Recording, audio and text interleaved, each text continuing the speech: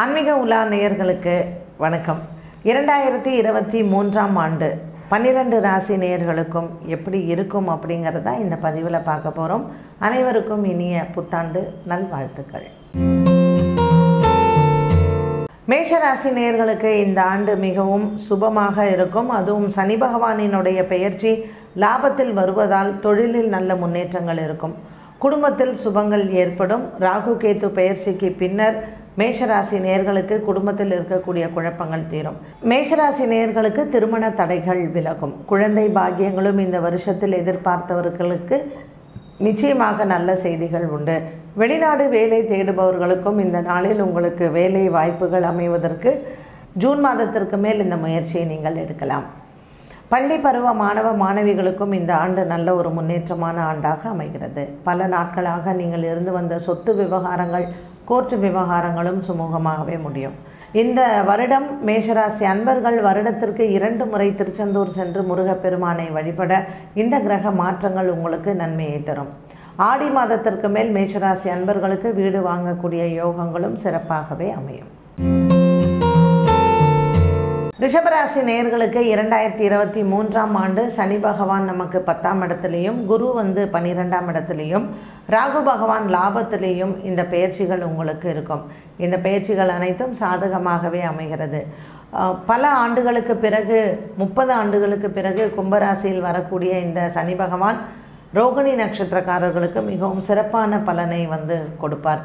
அதுவும் இந்த வருடம் இந்த இரண்டாயிரத்தி இருபத்தி மூன்று கனவுகள் நிறைவேறக்கூடிய வருடமாக இருக்கும் ரிஷபராசி அன்பர்களுக்கு பல மாதங்களாக நீங்கள் எதிர்பார்த்து கொண்டிருந்த ப்ரமோஷன்ஸ் அரசாங்க சம்பந்தப்பட்ட விஷயங்களிலும் வெற்றி கிடைக்கும். ரிஷபராசி நேயர்களுக்கு இந்த வருடம் வேலையில் நல்ல மாற்றங்களும் பதவி உயர்வுகளும் காத்திருக்கிறது. பெண்களுக்கு சிறப்பான வருடமாக அமையும். ஒரு சிலருக்கு இந்த வருடத்தின் ஆரம்பத்திலேயே வெளியூர் பிரயாணங்களும் இடமாற்றங்களும் காத்திருக்கிறது. ரிஷபராசி அன்பர்களுக்கு இந்த வருடத்தில் ஏப்ரல் மே ஜூன் ஆகிய மாதங்கள் மித மிகவும் சாதகமாக இருக்கும். வண்டி வாகனங்கள் வாங்குவது மாற்றுவது வீடு வாங்குவது இது போன்ற யோகங்கள் ஆடி மாதத்திற்கு பிறகு ரோகிணி மற்றும் மிருக சிறுஷகாரர்களுக்கு இந்த வருடத்தில் எதிர்பார்க்கலாம். இந்த வருடம் ரிஷபராசி அன்பர்கள் ஒவ்வொரு அமாவாசை என்றும் அன்னதானங்கள் மேற்கொண்டால் கிரகதோஷங்கள் விலகும். மிதுன ராசி நேர்கள் இந்த வருடம் மிதுன ராசி நேர்களுக்கு மிகவும் அமோகமான பலன்கள் காத்திருக்கிறது. முயன்று நின்று போன வேலைகள் அனைத்தும் இந்த வருடம் முயற்சியில் வெற்றி பெறும். பல நாட்களாக பல வருடங்களாக ஈடுபட்டு கொண்டிருந்த குடும்ப தகராறுகள் மற்றும் மிதுன ராசி நேயர்களுக்கு வீடு சம்பந்தப்பட்ட பிரச்சனைகளும் ஒரு முடிவிற்கு வரும். சொத்து சம்பந்தப்பட்ட விஷயங்கள் பெண்களுக்கு குறிப்பாக பிறந்த வீட்டால் லாபங்கள் ஏற்படும். வேலை சம்பந்தப்பட்ட விஷயங்கள் வெளிநாடு சென்று வேலை வாய்ப்புகள் தேடுவது மற்றும் வியாபார சம்பந்தப்பட்ட விஷயங்களிலும் நினைத்த காரியங்கள் நிறைவேறும். பெருமாள் ஆலயங்களுக்கு இந்த வருடத்தில் பௌர்ணமி தோறும் சென்று துளசி மாலை சாற்றி அர்ச்சனை செய்ய மிதுன ராசி நேயர்களுக்கு நினைத்த காரியங்கள் நிறைவேறும். அறுபடை வீடுகளில் மூன்று படையாவது இந்த வருடத்தில் சென்று வணங்க நீங்கள் நினைத்த காரியம் நிறைவேறும். மிதுன ராசி அன்பர்களுக்கு திருமண தோஷங்கள் விலகி புத்திர பாக்கியங்களும் மேம்படும். கேது பயிற்சிக்கு பிறகு. இந்த வருடத்தின் பிற்பகுதி உங்களுக்கு அமோகமாக இருக்கும். ஜூலை ஆகஸ்ட் ஆகிய மாதங்கள் திருமண யோகங்கள் ஒரு சிலருக்கு கைகூடும். காதல் வாழ்க்கையில் நல்ல ஒரு மறுமலர்ச்சியும் மற்றும் திருமண யோகங்களும் வீட்டில் பெரியவர்களிடத்தில் நீங்கள் முறையாக திருமணம் செய்யக்கூடிய யோகங்களும் ஒரு சிலருக்கு உண்டு. மனதிற்கு திருப்தி மற்றும் நிம்மதியான ஒரு வாழ்க்கை இரண்டாயிரத்தி இருபத்தி மூன்றாம் ஆண்டு மிதுன ராசி நேயர்கள் வாழலாம். கடகராசி நேயர்கள் இரண்டாயிரத்தி இருபத்தி மூன்றாம் ஆண்டு கடகராசி நேயர்களுக்கு நல்ல ஒரு பிரமாதமான ஆண்டாக இருக்கும். பத்தாம் இடத்தில் குரு பகவான் வந்தாலும் கூட பாகியத்தில் ராகு பகவான் செல்லுவது உங்களுக்கு நல்ல ஒரு அதிர்ஷ்டத்தை கொடுக்கும். கடகராசி அன்பர்களுக்கு இந்த சனி பயிற்சியானது கும்பராசிக்கு சனி பகவான் மாறுவது உங்களுக்கு பலவிதமான நன்மைகளை கொடுப்பதாகவே அமையும். அஷ்டமத்தில் சனி பகவான் அமர்ந்தாலும் கூட இழந்த சொத்துக்களை மீட்டெடுப்பது மற்றும் இழந்த பொருள்கள் கிடைப்பதும் உங்களுக்கு ஒரு சிலருக்கு நன்மைகளை பயக்கும். பூசம் மற்றும் ஆயில்யம் நட்சத்திரக்காரர்களுக்கு நல்ல ஒரு முன்னேற்றமான ஆண்டாக அமைகிறது. குடும்பத்தில் விட்டு சென்ற உறவினர்கள் நண்பர்கள் உங்களை தேடி வருவதற்கான வாய்ப்புகள் உண்டு. சமயபுரத்தில் இருக்கக்கூடிய மாரியம்மனை சென்று தரிசனம் செய்வது சித்திரை மாதத்தில் மற்றும் ஆடி மாதத்தில் ஒரு அம்மன் ஆலயம் சென்று வணங்குவது உங்களுக்கு சிறப்பான பரிகாரமாக இருக்கும். திருச்சி உறையூரில் இருக்கக்கூடிய வெக்காளி அம்மனை அமாவாசை தினத்தில் சென்று தரிசனம் செய்வதும் பொள்ளாச்சி ஆனமலையில் இருக்கக்கூடிய மாசாணி அம்மனை மாகாலய அமாவாசை அன்று தரிசனம் செய்வதும் இந்த அஷ்டம சனிக்கு நல்ல பரிகாரமாகும். முயன்ற போது கடகராசி அன்பர்கள் திங்கக்கிழமை தோணும் அன்னதானங்கள் செய்ய சந்திரனினால் ஏற்படக்கூடிய தோஷங்கள் தீரும். சிம்மராசி நேயர்கள் இந்த வருடம் சிம்மராசி நேயர்களுக்கு நல்ல ஒரு பலமான வருடமாக அமைகிறது. ஆறாம் இடத்தில் இருக்கக்கூடிய இந்த சனி பகவான் இந்த வருடம் உங்களுக்கு ஏழாம் இடத்திற்கு பயிற்சியாகிறார். இருந்தும் கு- குடும்பத்தில் நல்ல ஒரு ஒற்றுமையும் சந்தோஷத்தையும் பார்க்கலாம். உடல் ஆரோக்கியத்தில் கவனங்கள் தேவை. சின்ன சின்ன பிரச்சனைகள் அவ்வப்போது தலை தூக்கும். பெண்களுக்கு குறிப்பாக எலும்பு சம்பந்தப்பட்ட பிரச்சனைகளும் கால் தசைகள் சம்பந்தப்பட்ட பிரச்சனைகளிலும் முக்கியமான கவனம் செலுத்த வேண்டும். ஆலயங்களுக்கு நல்லெண்ணெய் தானம் செய்ய இந்த வலிகளும் இந்த நோய்களும் தீரும்.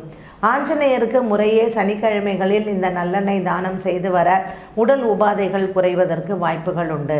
கொடுக்கல் வாங்கல் கடன் பிரச்சனைகள் இதில் இருக்கக்கூடிய உற்றார் உறவினர்களிடத்தில் கடன்கள் வாங்கியிருந்தால் அவற்றில் சில மன குறைபாடுகள் வரலாம். வருடத்தின் ஆரம்பம் தை மற்றும் மாசி மாதத்தில் இந்த கடன் தீருவதற்கு வழி பிறக்கும். இந்த வருடம் பிற்பகுதியில் ஏப்ரல் ஜூன் மாதங்களில் வீடு வாகனங்கள் வாங்குவது மாற்றுவது இதற்கான ஆலோசனைகளை நீங்கள் பார்க்கலாம். செப்டம்பர் அக்டோபர் நவம்பர் ஆகிய மாதங்களில் உங்களுக்கு உங்கள் குடும்பத்தில் திருமணமானவர்களுக்கு நீண்ட காலமாக குழந்தை பாக்கியம் இல்லாதவர்களுக்கு நல்ல செய்திகள் காத்திருக்கிறது.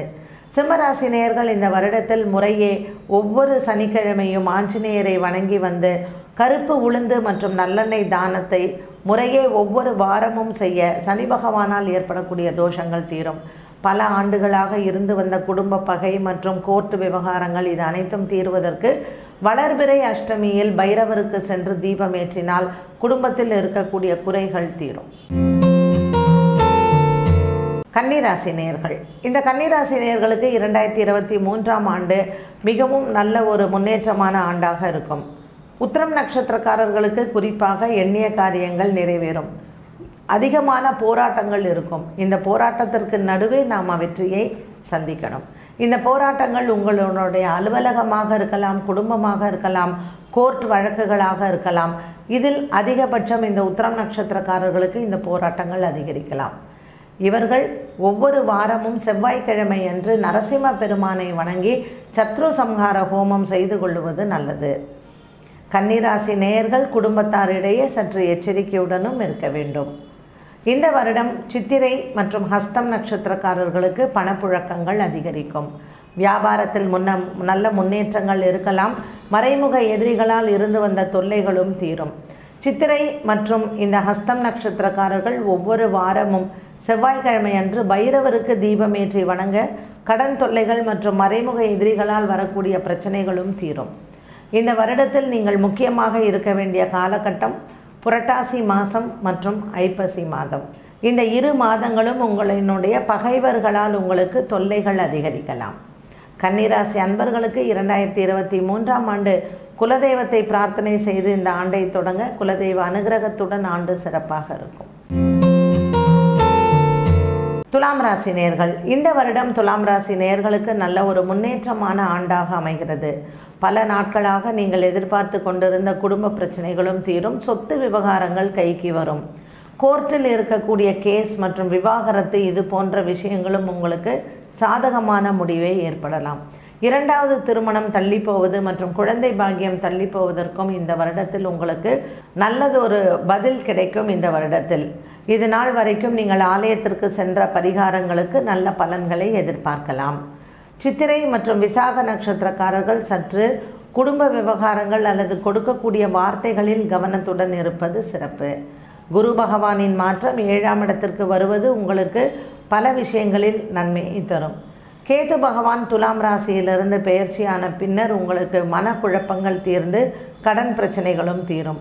ஒரு சிலருக்கு பய உணர்வு இருக்கலாம். சுவாதி நட்சத்திரக்காரர்களுக்கு இந்த பய உணர்வு தீர்ந்து இறைவனின் அனுகிரகம் கிடைக்கும்.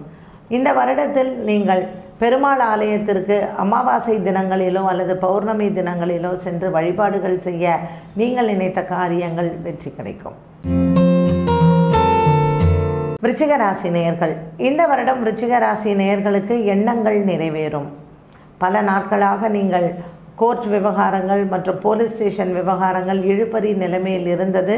இந்த வருடத்தில் ஜூன் ஜூலை ஆகிய மாதத்தில் முடிவடையும். சொத்து சம்பந்தப்பட்டது பூமி சம்பந்தப்பட்ட பிரச்சனைகளும் உங்களுக்கு சாதகமான முடிவுகளை கொடுக்கும். ரிச்சிகராசி ராசி அன்பர்களுக்கு சனி பெயர்ச்சி சற்று நான்காம் இடத்திற்கு வருவதால் எச்சரிக்கையுடன் இருப்பது நல்லது. இந்த அர்த்தாஷ்டம சனி விருச்சிகராசி நேர்களுக்கு நேயர்களுக்கு இரண்டரை வருட காலம் இருப்பதனால் வேலை செய்யும் இடத்தில் கவனமும் உங்களுடைய வார்த்தைகளில் கவனமும் தேவை.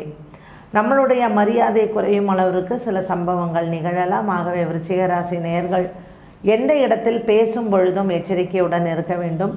அரசாங்கத்திற்கு விரோதமான செயல்களில் ஈடுபட வேண்டாம்.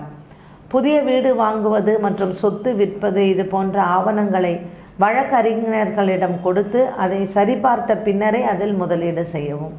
விருச்சிகராசி அன்பர்கள் வாராகி அம்மனை செவ்வாய்க்கிழமை தோறும் பிரார்த்தனை செய்து வர எண்ணங்கள் நிறைவேறும்.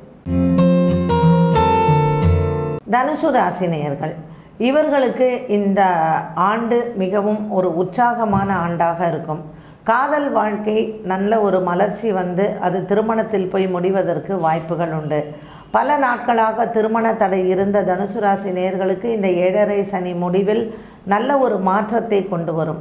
அரசியல் மற்றும் சினிமா துறையில் இருக்கக்கூடிய கலைஞர்களுக்கு நல்ல ஒரு உற்சாகமான ஆண்டாக அமைகிறது. மூலம் பூராடம் நட்சத்திரக்காரர்களுக்கு இந்த வருடத்தில் நீங்கள் எடுத்த காரியத்தில் ஜெயம் உண்டு. புதிய வியாபார தொடக்கம் புதிய வாகனம் வாங்குவது மாற்றுவது இது போன்ற விஷயங்களில் உங்களுக்கு எண்ணங்கள் நிறைவேறும். இது நாள் வரைக்கும் பேசாமல் இருந்த பெற்றோர்கள் உங்களிடத்தில் பேசுவார்கள். விட்டு பிரிந்து சென்ற உறவினர்கள் மீண்டும் வருவதற்கு இந்த ஆண்டு நீங்கள் எதிர்பார்க்கலாம். இந்த தனுசு ராசி நேயர்கள் பரிகாரமாக கடல் ஓரங்களில் இருக்கக்கூடிய ஆலயங்களுக்கு செல்லலாம். திருச்செந்தூர் ராமேஸ்வரம் மற்றும் மகாபலிபுரத்தில் இருக்கக்கூடிய ஸ்தலசயன பெருமாள் இது போன்ற ஆலயங்களுக்கு சென்று வணங்கி வரலாம். ஒரு முறை திருக்கோசமங்கை சென்று அங்கே இருக்கக்கூடிய வாராகி அம்மனை வணங்கி வந்தால் எதிரிகளின் தொல்லை இருக்காது. மகர ராசினியர்கள் பல ஆண்டுகளாக நீங்கள் நினைத்து கொண்டிருந்த ஒரு சில விஷயங்கள் இந்த ஆண்டு நிறைவேறும்.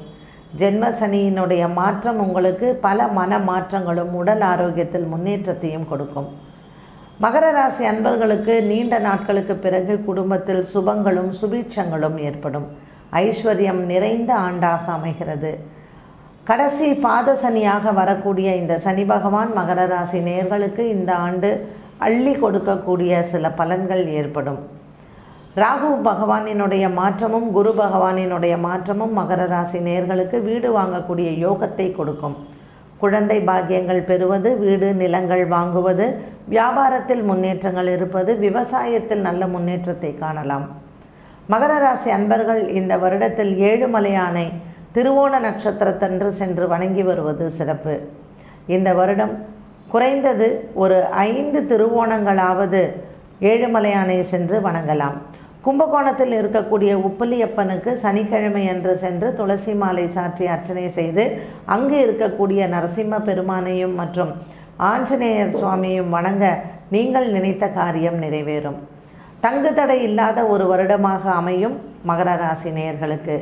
பங்கு சந்தையில் முதலீடு செய்வது உங்களுடைய முதலீடுகள் இரட்டிப்பாகும். இந்த வருடம் நீங்கள் நினைத்த காரியம் நிறைவேறும் காதல் வாழ்க்கையும் திருப்தியாக இருக்கும்.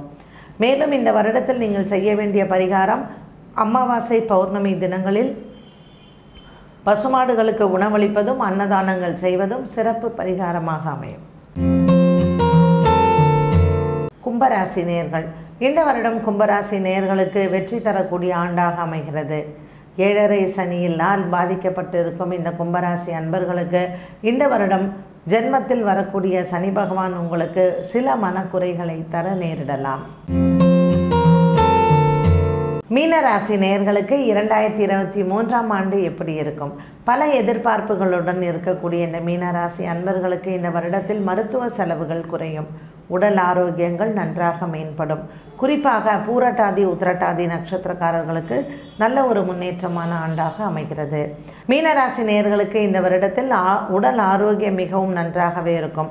குரு பகவானின் மாற்றம் இரண்டாம் இடத்திற்கு உங்களுடைய குடும்பத்தில் சுபங்கள் ஏற்படும். ராகு பகவான் உங்களுடைய ராசியில் வருவதனால் சற்று எந்த முடிவு எடுத்தாலும் யோசித்து நிதானித்து எடுப்பது நல்லது.